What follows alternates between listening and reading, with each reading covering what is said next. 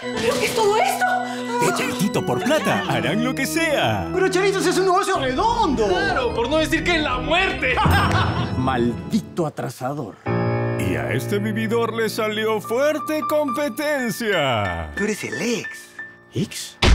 Uy, ya se armó la bronca ya.